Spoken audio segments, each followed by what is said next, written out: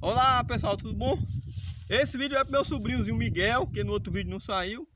Continuando a gravação das máquinas que Titio opera. Essa agora aqui é uma retroescavadeira. Já tenho, essa aqui é a terceira, né? Porque a primeira foi a Mini, o segundo foi o trator de esteira que tá aí, o 7D, antigão. E agora essa. Bora lá, preparando para operar. Levantar a calça aqui, para ficar mais bonito. Vamos lá.